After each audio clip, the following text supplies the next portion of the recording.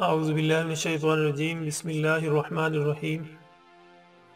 ناظرین کہتے ہیں کہ تقدیریں ان کی بھی ہوتی ہیں جن کے ہاتھ نہیں ہوتے۔ ہمارے پیارے نبی حضرت محمد صلی اللہ علیہ وسلم نے ہاتھ دکھانے سے منع فرمایا۔ ہمارا مقصد آپ کو بس اس کے بارے میں علم دینا ہے تاکہ آپ کسی جعلی پیر بابا کی باتوں سے بچے رہیں۔ ہمارے ہاتھوں کی لکیروں میں کافی اسرار و رموز پوشیدہ ہوتے ہیں۔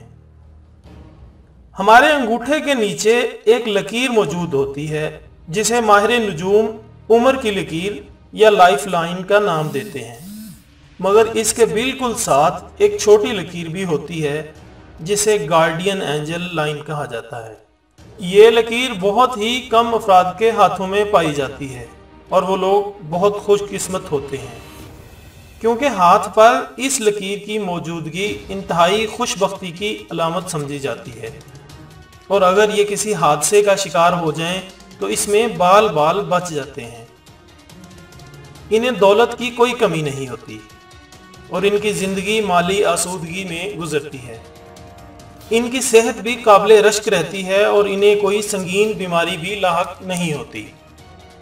ناظرین، اس کا یہ مطلب ہرگز نہیں کہ جن کے ہاتھ میں یہ لکیر نہیں، وہ خوش قسمت نہیں ہوتے۔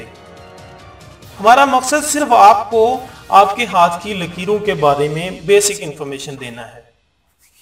قرآن پاک میں ارشاد باری تعالیٰ ہے، ان اللہ علی کل شعین قدیر بے شک اللہ تعالیٰ ہر چیز پر قادر ہے۔ اللہ تعالیٰ جب کسی کو نوازتا ہے، تو یہ لکیریں رکاوٹ نہیں بنتی۔ امید کرتے ہیں کہ آپ کو یہ ایک چھوٹی سی ویڈیو پسند آئی ہوگی۔ اپنا دوستوں، رشتہ داروں اور اپنے ارد گرد کا بہت خیال رکھیے گا۔ اللہ حافظ۔